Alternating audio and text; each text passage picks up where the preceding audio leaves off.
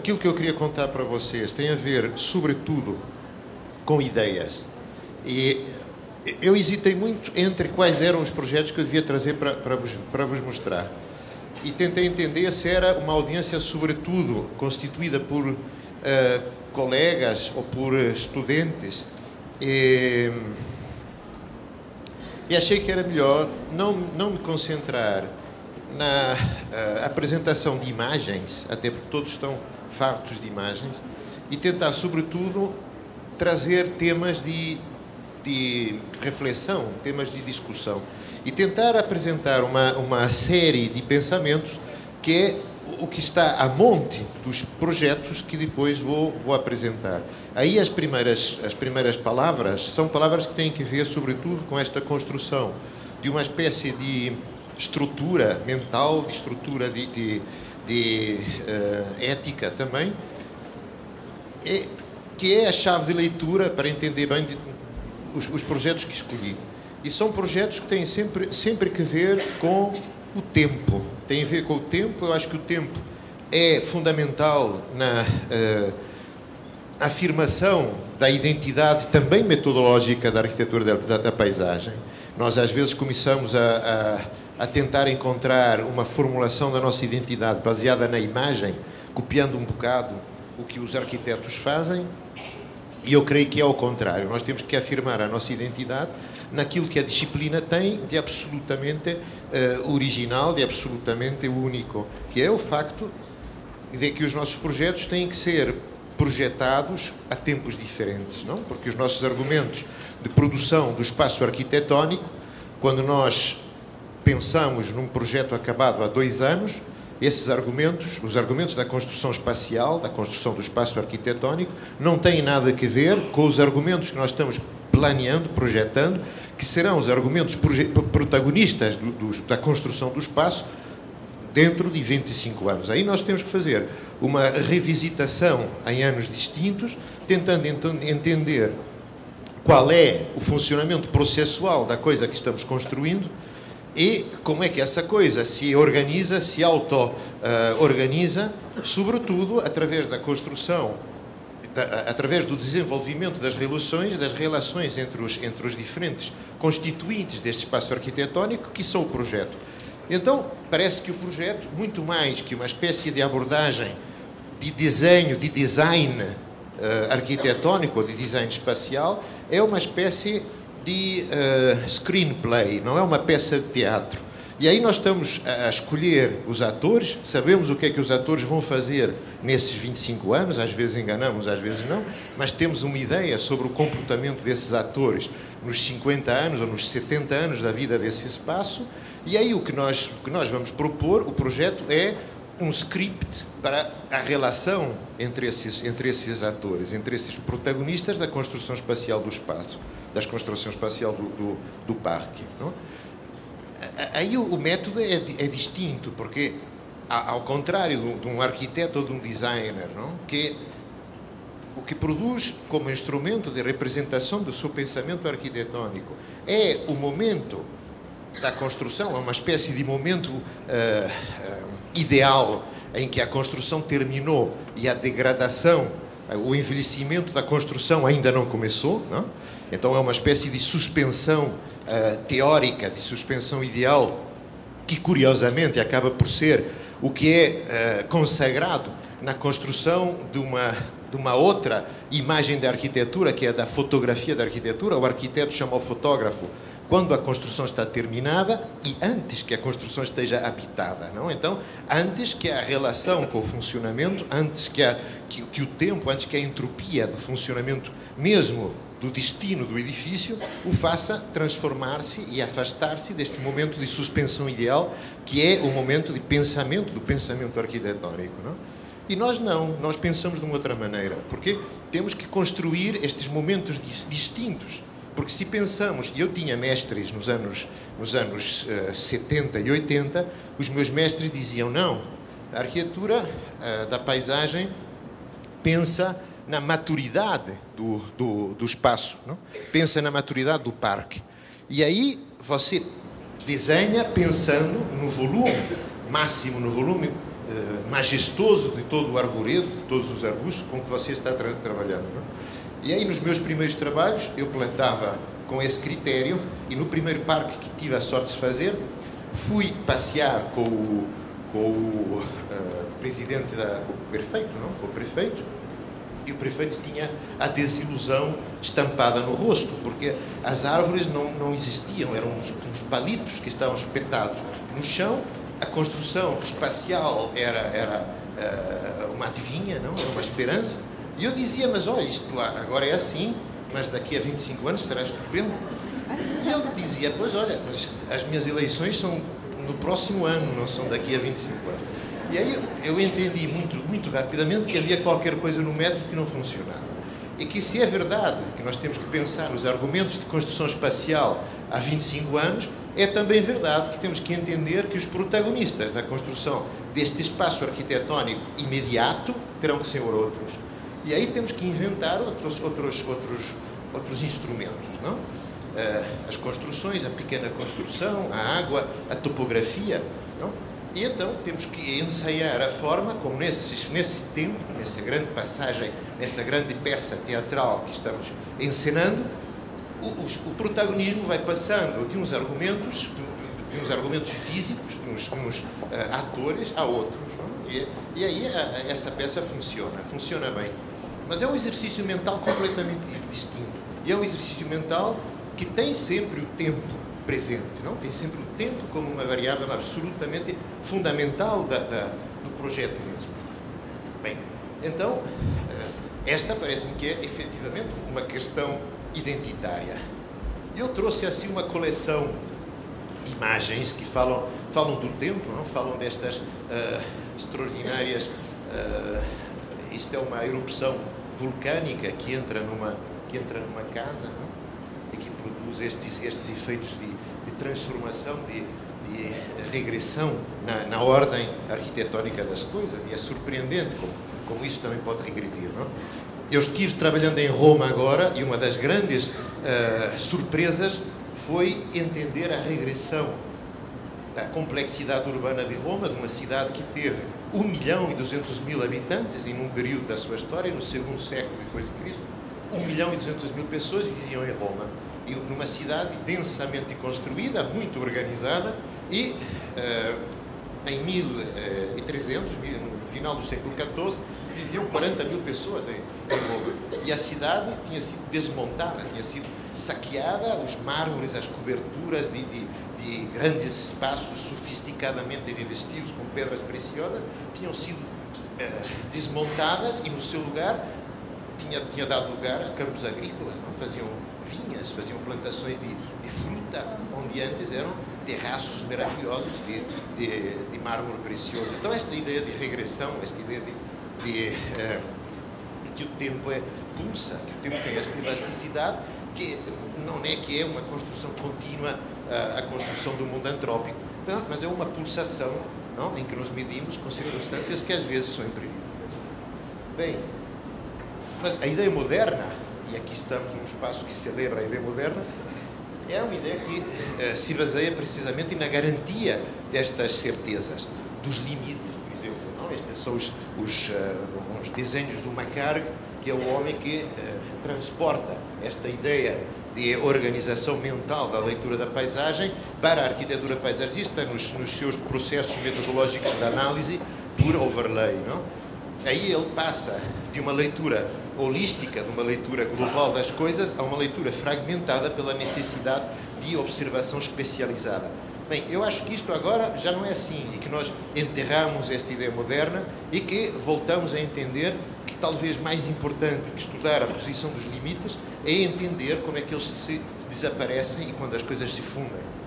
E uma das, uma das mais importantes perdas deste limite, características mesmo da ideia do, do moderno, de Chaplin nos tempos modernos, é o limite entre natural e antrópico uma obsessão do pensamento moderno e que me parece que agora, e tentarei mostrar isso como investigação associada a um dos projetos que estamos fazendo, essa ideia agora é uma ideia estranha. As coisas misturam-se.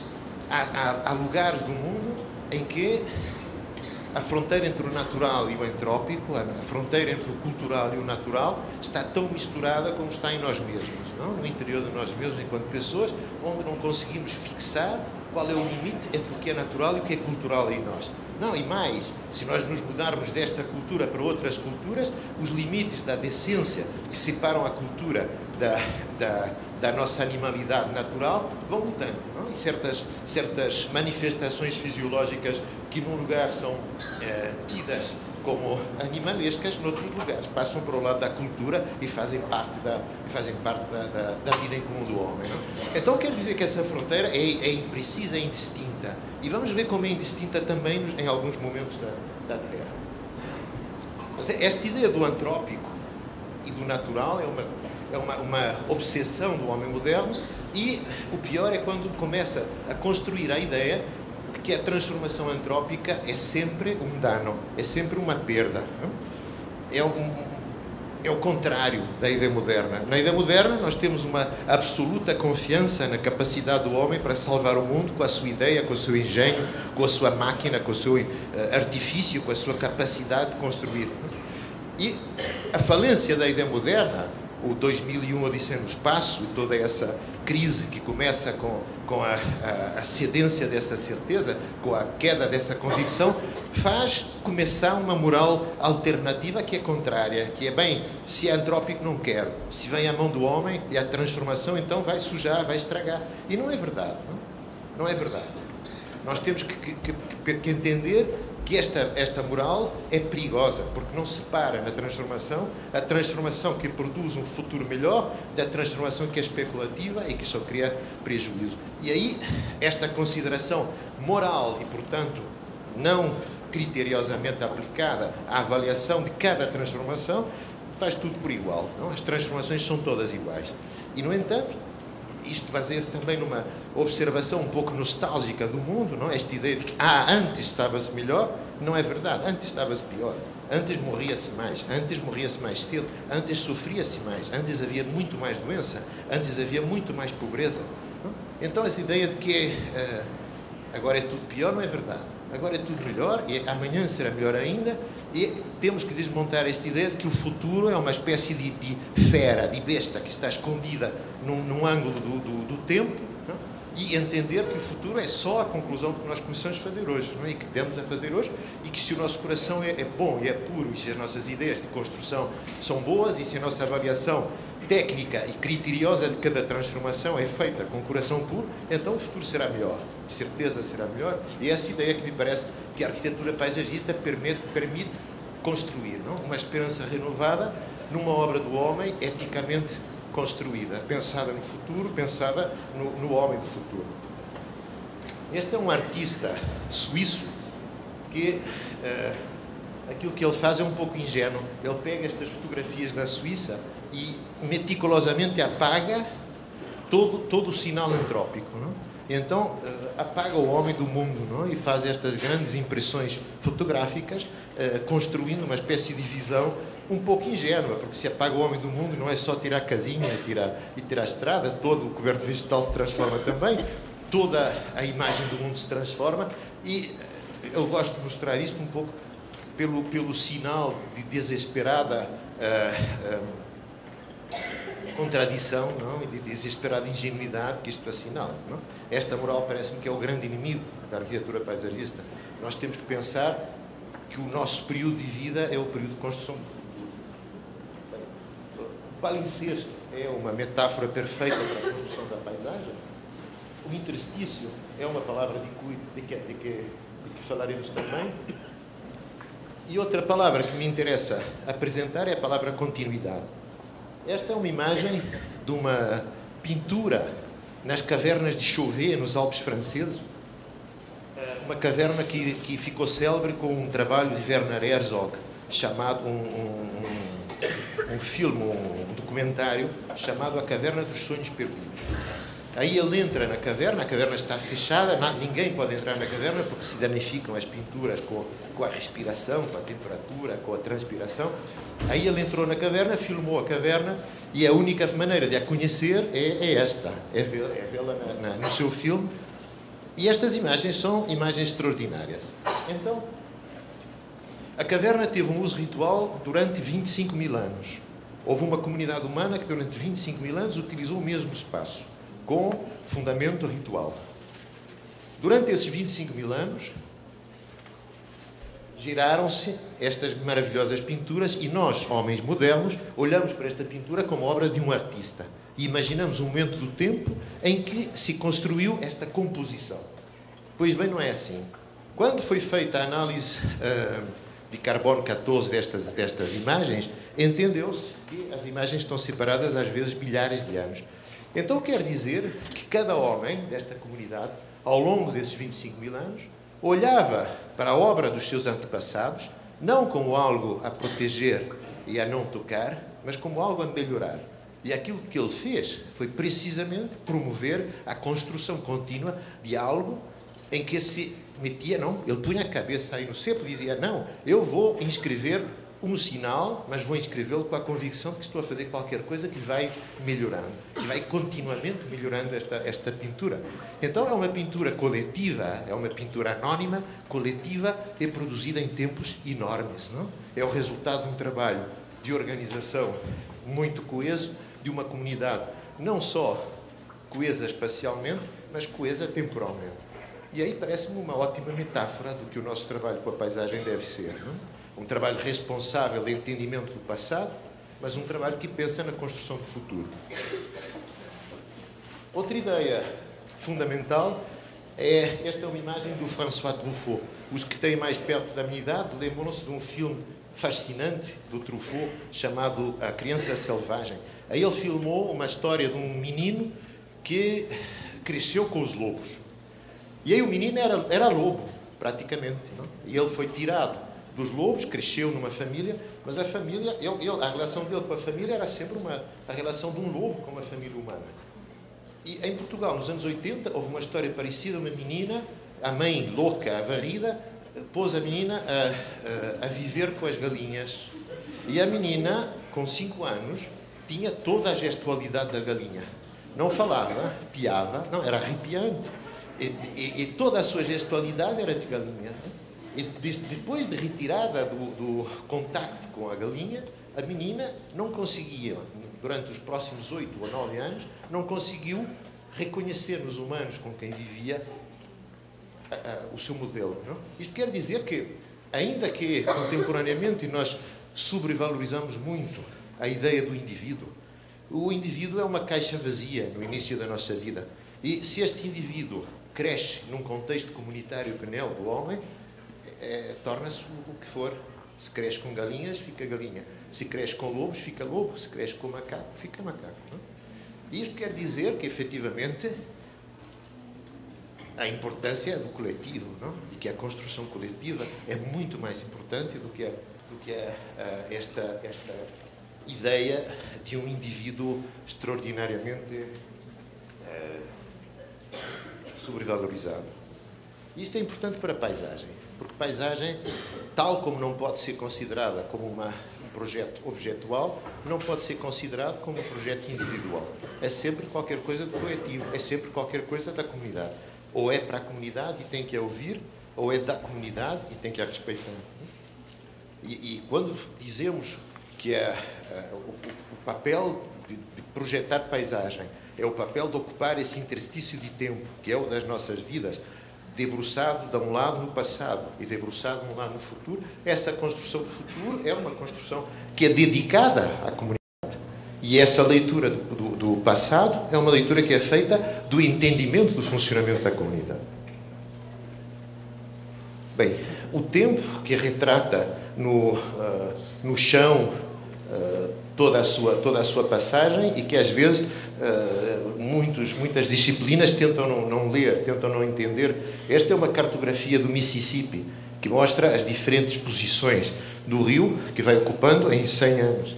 E esta é a, a fotografia aérea, não? a imagem de satélite, em que vemos exatamente a, a, o retrato dessa cartografia. Bem, e o tempo, que claro que uh, transforma também a realidade dos lugares ao longo do ano em processos cíclicos. Não?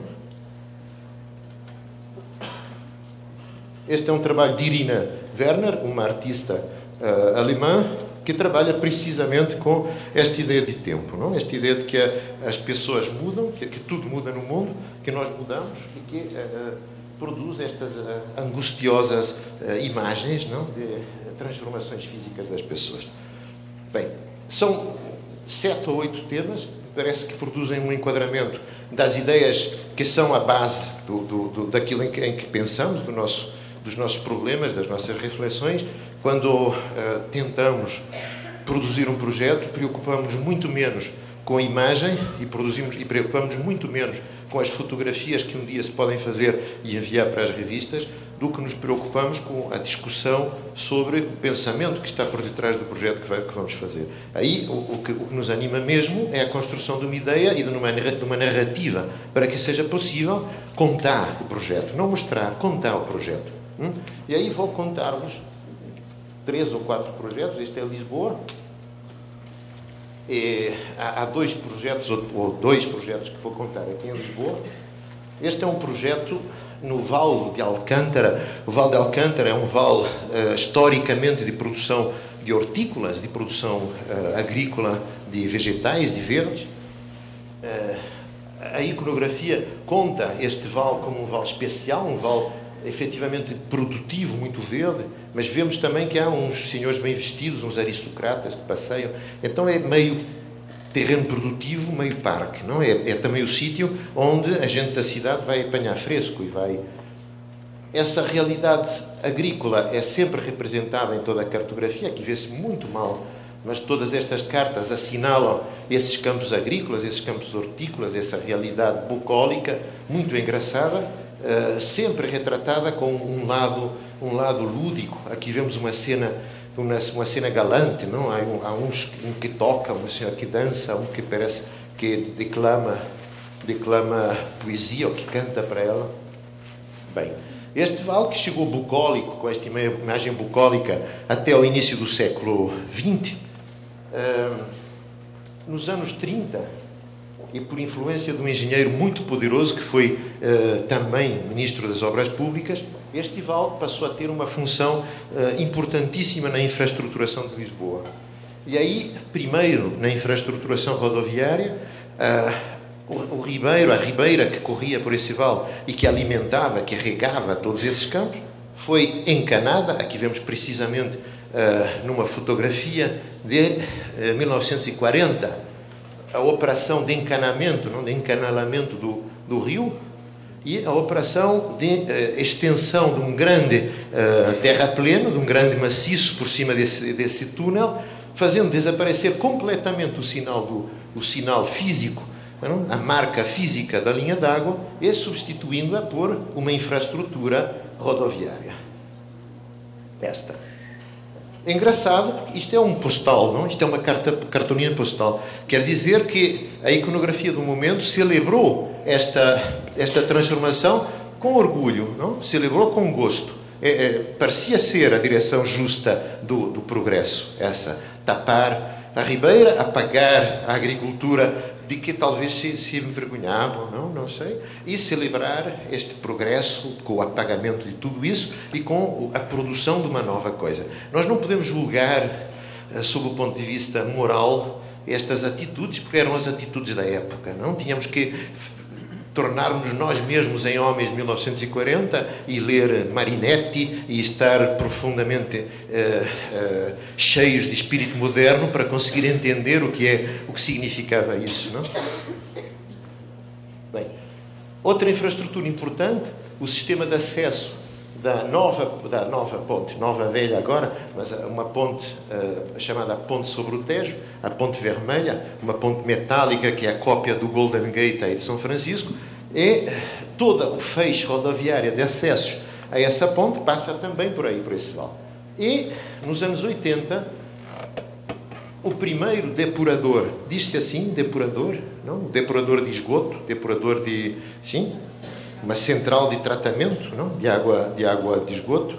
O primeiro de Lisboa, que é instalado neste território e, eh, e que é uma, uma, infraestrutura muito rudimentar nos anos 80, uh, eh, instala-se aqui uma, uma infraestrutura que produz pouco mais que uma água suja uh, só com tratamento primário.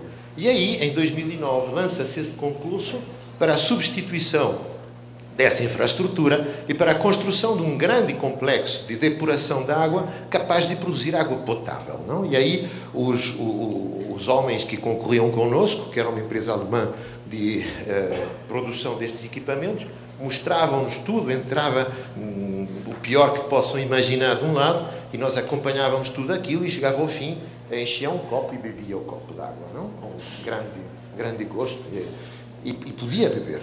E então essa capacidade de depuração tinha que ser trazida para aqui num grande projeto também de salvação do próprio Rio Tejo, onde se queria fazer volver os, os, os golfinhos. Não? Os golfinhos tinham que voltar ao Tejo, a qualidade da água tinha que subir. Bem.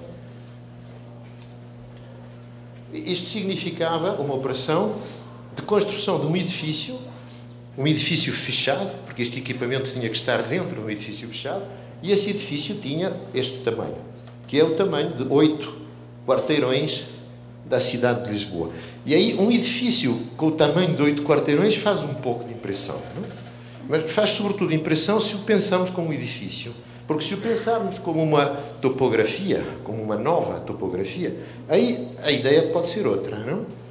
E, sobretudo, quando, analisando a história do sítio, vemos que o primeiro depurador o que fez foi uma grande dentada na topografia deste vale. E então, a possibilidade de um edifício topográfico é a possibilidade que esse edifício seja uma espécie de prótese não? na topografia do vale. E aí a arquitetura começa a, mudar de, de, ideia. Aquilo que pensa é em organizar-se, já não só em função da qualidade espacial necessária para albergar os equipamentos, então já não tem só vetores vindos de dentro para o desenho do edifício, mas tem também vetores vindos de fora, não? porque aí, em cada momento do seu perfil, ele tem que começar a reproduzir essa topografia, não? Tem que começar a simular essa topografia na construção de uma de uma grande plataforma topográfica complexa, não é regular, é irregular, é feita precisamente de coincidências topográficas desenhadas de perfil a perfil. Hum? E aí o que se faz é tomar essa grande plataforma, exatamente como os agricultores tomavam a plataforma original. Hoje vamos fazer terraços, vamos importar solo, como se importa em tantos sítios do mundo, e vamos fazer um campo de horta. Não? Vamos fazer outra vez a implantação dessa imagem, dessas hortas que tinham desaparecido completamente, vamos transformá-las na grande fachada do edifício. Bem, então, há outros sítios aqui, por exemplo, isto é, é em, em, Angola, na China, na, no Vietnã, traz-se solo uh, importado de outros sítios e então produzimos este primeiro esquiço, este é o primeiro esquiço do projeto, que desenha em cima da única fachada trabalhada do edifício esta composição de terraços não? com uh, material vegetal comestível. Não são hortas, idealmente seriam hortas, mas na, na difícil negociação com o, com o, o cliente, a horta parecia-lhe muito intensamente utilizada e com grande risco de uh, agressão dos sistemas de proteção da própria cobertura. Então aí tivemos que falar de uh, plantas vivazes, comestíveis, mas com uh, um grau de, de, de mobilização do solo muito menor de um, de um terreno agrícola normal. Bem, vou passar rapidamente as fotografias do, do processo. Isto é, são os momentos de, de obra, os primeiros momentos de obra, a substituição técnica dos equipamentos. Isto é um autocarro, então estão a ver aí a escala do bicho. Não? Aqui está o edifício já implantado.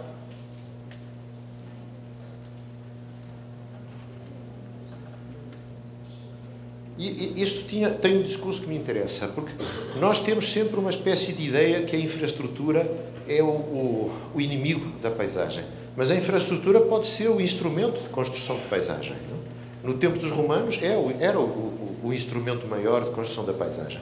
E eu creio que todos os exemplos uh, podem ser uh, grandes possibilidades de, de construir esta espécie de ideia. Não? Nós andamos aqui em São Paulo e nós começamos a imaginar que se a infraestrutura rodoviária, em vez de ser única e exclusivamente produzida com um sentido uh, pragmático, se fosse construída com um sentido arquitetónico, e a única coisa que muda é o sentido, não muda o custo, não muda o preço, não muda nada, muda o sentido. Não? Nós, na Europa, para mudar a cor do galinheiro nas traseiras da casa, temos que pôr um processo na prefeitura. Não? Mas para fazer uma autoestrada não tem que pensar em termos de arquitetura, o que é estranho.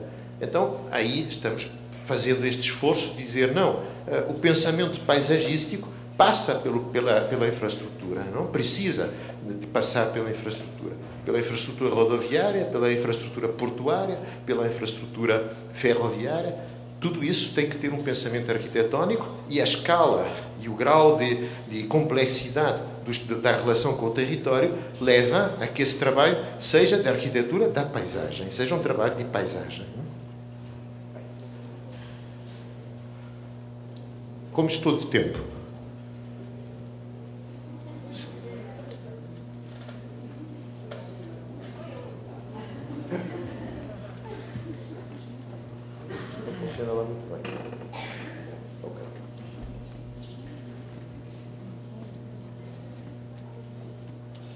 Outro projeto em Lisboa, no centro de Lisboa, é um projeto que fala de outras realidades da, das oportunidades do projeto de paisagem.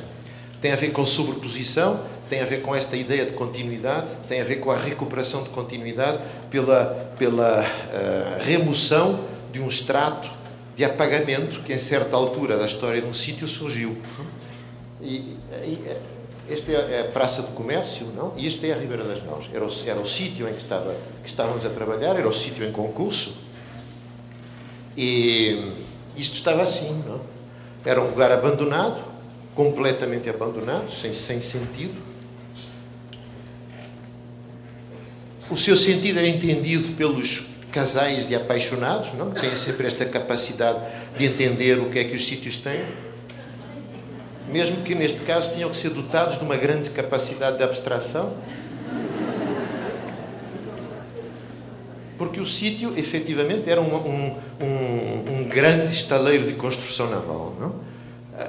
A cidade de Lisboa, aqui a cidade de Lisboa antes do terremoto, 1755, e a cidade de Lisboa aqui, a cidade de Lisboa funciona sempre assim em patamares, não de estabilidade. Uma transformação e um patamar de estabilidade. Outra transformação e essas transformações podem ter razões naturais, como o terremoto, não? que introduz um golpe, uma ruptura na continuidade da cidade, ou políticas, neste caso políticas. Nós, com uh, a dinastia de, de com El Rei Dom João II? Uh, há uma decisão política que é a decisão de dizer nós não somos militares, não somos gente da guerra, nós somos gente do comércio. Não? Então o rei tira o seu, o seu palácio do castelo e põe o palácio aqui, na beira d'água. Este é o palácio construído por Dom, Dom Manuel, o Venturoso. Não? E a proposta é claríssima. Eu não quero estar num castelo aí a defender-me de quem? Não? De ninguém, não há mais guerra, não, isso acabou. Eu quero estar onde é o meu projeto político. E o meu projeto político é de desenhar barcos, desenhar rotas, fazer exploração do mundo, ir por aí fora e estabelecer comércio. Não? Essa é a relação. Então ele desenha a Baixa, que é o centro de Lisboa, como uma espécie de diagrama político do Estado. Este é o palácio do intendente do estaleiro de construção, que é a família Corte Real, que cai em desgraça depois na, uh, na guerra da uh, na recuperação da, da independência em 1640. Este é o Palácio Real, então o estaleiro de construção das naus está entre o Palácio Corte Real e o Palácio do Rei. Esta é a Praça Terreiro do Passo. O Terreiro do Palácio é uma praça militar, é um, uma, um chão de mar, não? É um campo de março, não? é um campo de, de uh, formal, de, de, de apresentação formal do Estado. E este é o edifício da fronteira, da alfândega, onde se pagam as taxas dos produtos que as naves que são construídas aqui vão buscar. E isto é o mercado, onde os produtos são vendidos. Então isto funciona exatamente como funciona o Estado. Não? É toda uma sequência de espaços que ilustram precisamente um funcionamento institucional claríssimo, não? como é sempre na cidade, quando começamos a, a entender.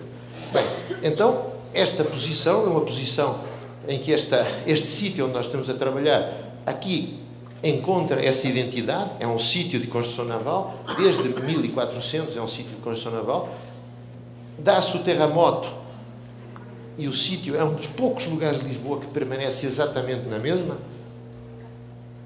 Século XIX, a mudança da filosofia de navegação um porto já não é um sítio de águas planas onde um, um navio lança âncora e depois vem um, um, monte de pequeninos barcos trazendo as mercadorias, levando as pessoas. Não, agora é possível a costagem, então a filosofia do porto muda completamente e a cidade começa a desenhar-se com uh, aterros sucessivos que a puxam cada vez mais para dentro do rio. Não? Bem, mas este sítio não muda, mantém a sua estrutura uma doca grande, uma doca pequena, duas rampas de lançamento de barcos, uma doca seca, outro aterro sucessivo. E isto igual. Então há uma espécie de permanência destes sinais, não? enquanto tudo muda à volta, e estes sinais permanecem muito estáveis, muito, muito uh, seguros não? da sua posição, da sua função, das suas razões de ser. Até que, 1949, bem, a iconografia confirma estas coisas, primeiro com gravuras e desenhos lindíssimos, depois mesmo com fotografia, porque este estaleiro que nós vemos aqui chega à, à época da, da, fotografia. E,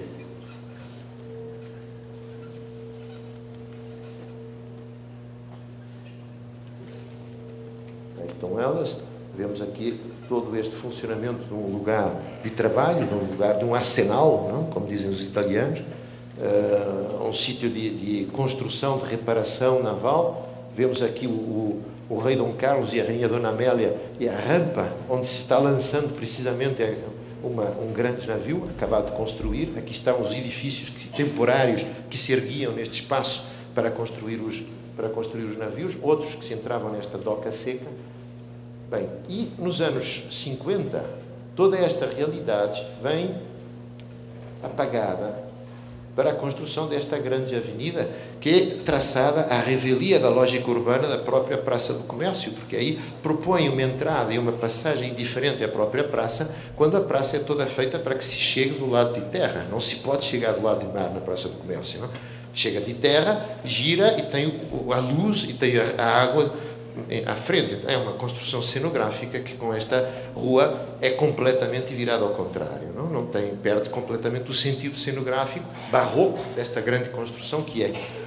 Bem, e a nossa aposta, um concurso, uma aposta feita sem nenhuma confirmação arqueológica, então foi coisa de loucura mesmo, não?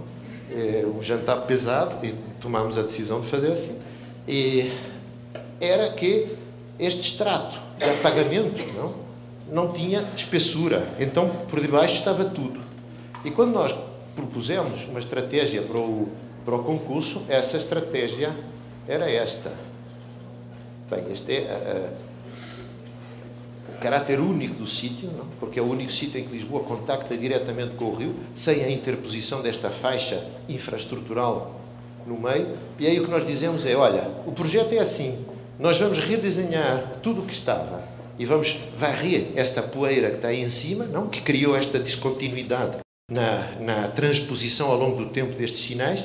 Vamos varrer isso fora, vamos refazer tudo isso. Claro que já não precisamos de, de, rampas para construir barco, as rampas ficam diferentes, passam a ser sítios para, para ver a vista, para apanhar sol.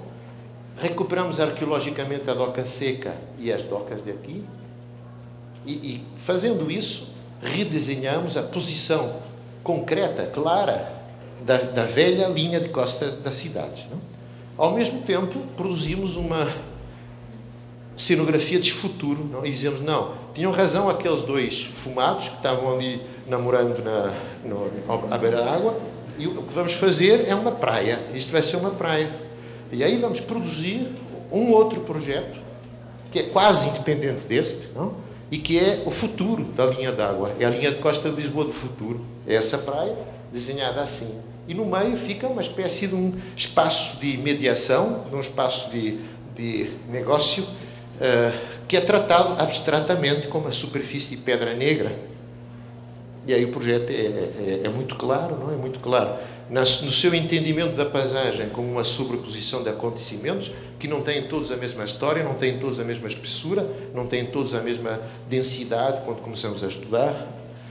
E a ideia de que a paisagem é uma grande síntese de passado e de futuro. É? Bem, constrói-se. Primeiro destrói-se. A grande surpresa feliz, a grande feliz surpresa de que estava lá tudo, efetivamente, não foi um grande alívio. Eu tive um. dormi bem nessa noite, pela primeira vez. E aí uh, o projeto foi uh, a revelação de toda essa, de toda essa quantidade de vestígios arqueológicos surpreendentes e extraordinários que, que esqueciam-se, já, já ninguém sabia que estavam ali. E é muito interessante porque Lisboa conta muito pouco fisicamente da, da sua história de antes do terremoto. Não? Praticamente não há sítios de antes do terremoto visíveis. Lisboa foi efetivamente uh, sobreposta à sua história antiga. E este é um sítio que constrói uma espécie de fio de ligação com o passado. Não? Aí é uma coisa interessante, essa, essa escada não? que nos permite de, ir ver como é, que Lisboa, como é que Lisboa era, entender essas relações de Lisboa, essas escalas, esses materiais. E pelo outro lado é o futuro aqui, não? que é tudo feito de novo, é uma grande praia artificial, dura, que é construída em cima da lama, então é uma grande placa, completamente tecnológica, uh, onde se pensa que possa vir a, a funcionar um, um grande espaço público que efetivamente funciona, primeiro para as gaivotas e depois para as pessoas. E agora a, a felicidade é que é efetivamente o, o, primeiro espaço público de Lisboa. É um espaço que é uh, celebrado por uma quantidade incrível de pessoas, é uma grande alegria ver isto todos os, todos os dias cheios. Eu não vou uh, demorar mais na minha apresentação, uh, tinha mais alguns. alguns projetos para apresentar, mas. Mais um? Mais um, mais um.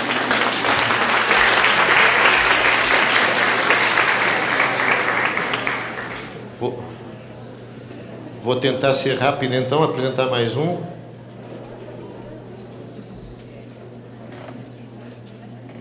No minuto seguinte a esta fotografia, esta gente ficou toda molhada, porque veio uma, uma onda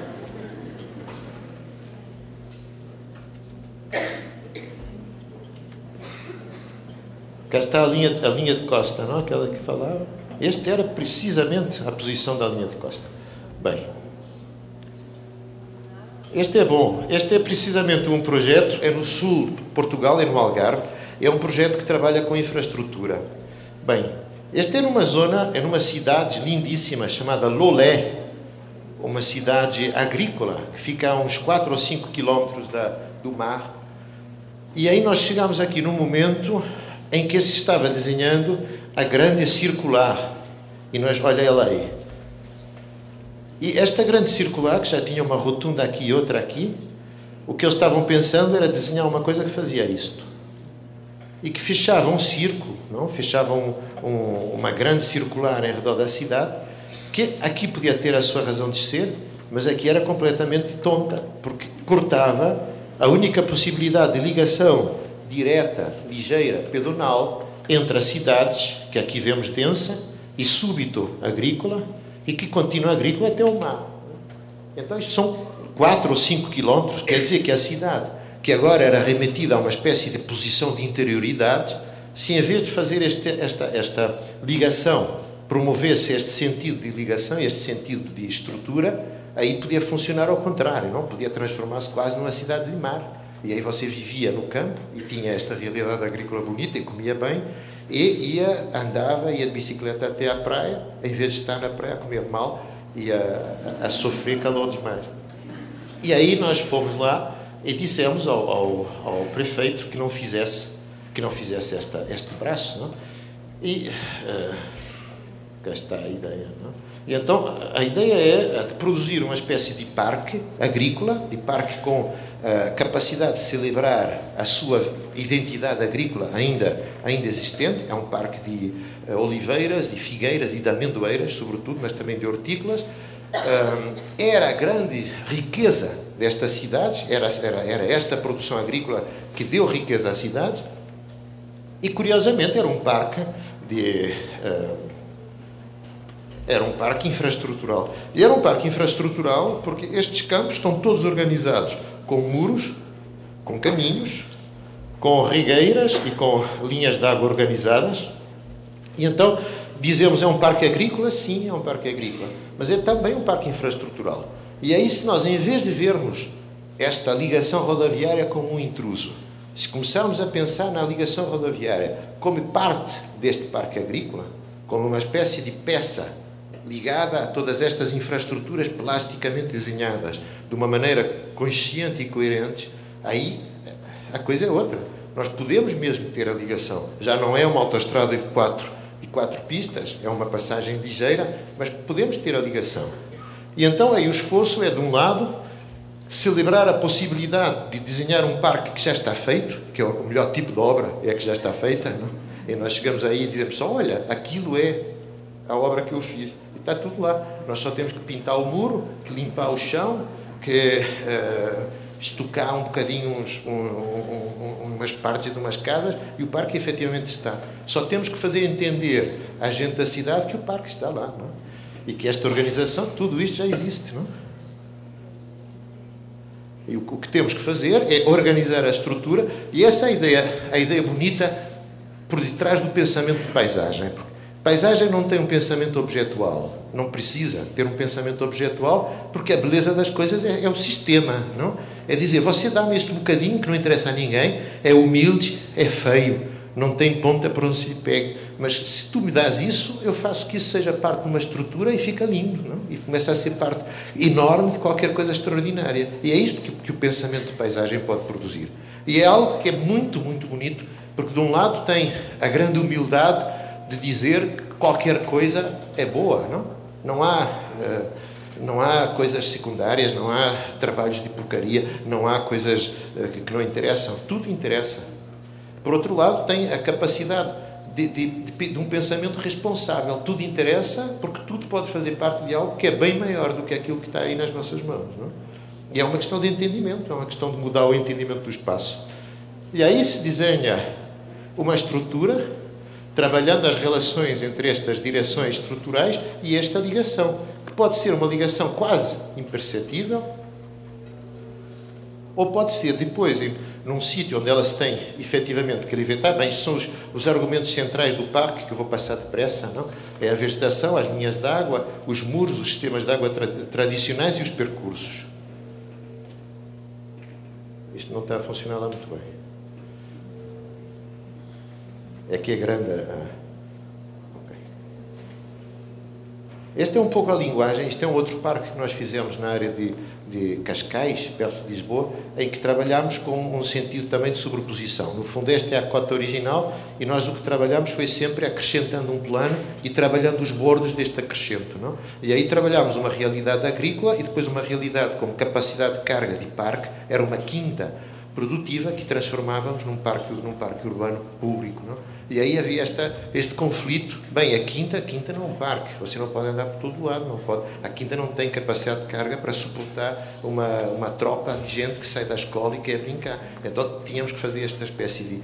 E aí esta linguagem era um pouco essa linguagem do muro, essa linguagem da plástica disto. Bem, só para chegar aqui a uma imagem que me parece muito, muito positiva, que é pegar nestas, nestes elementos e num sítio onde a proteção do sol nos obriga a que essa estradinha possa ser uma estradinha sobrelevada, aquilo que nós fazemos é, em vez de bem, então aí, se nós a vamos sobrelevar, ela já não é uma estradinha, é uma estradona. Ela fica bem grande e ela vai produzir um espaço arquitetónico muito potente. Aquela vai uma para frente, vai uma para trás.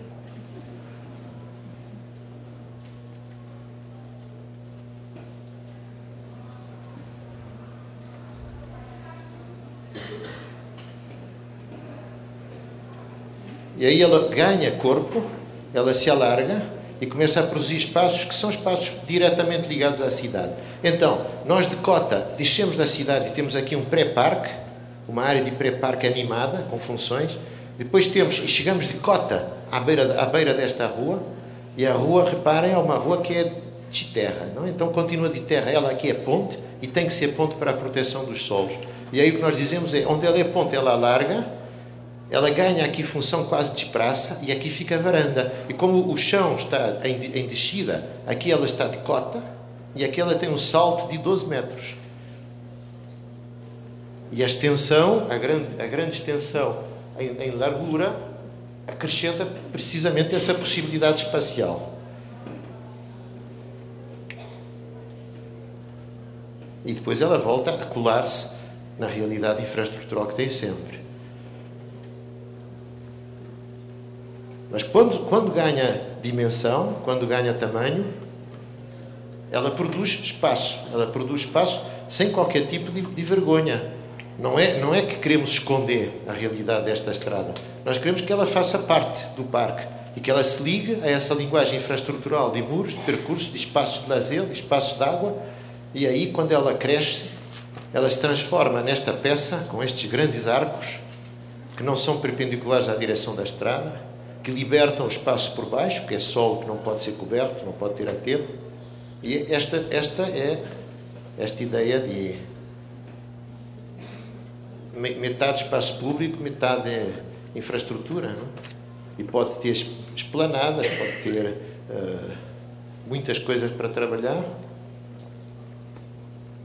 E a espacialidade é esta. Não? Então, ao contrário de ter vergonha da infraestrutura, nós se apegarmos com uma noção arquitetónica mesmo, ela transforma-se numa parte claríssima da arquitetura do parque. Não? E ela começa a trabalhar e a entrar dentro dessa linguagem eh, que pode produzir, espero eu, qualquer coisa, mais uma vez, especial para as comunidades do futuro, que é a quem nós dedicamos sempre o nosso trabalho. Eu espero não ter sido muito maçador, agradeço muito, muito a vossa atenção e a coração.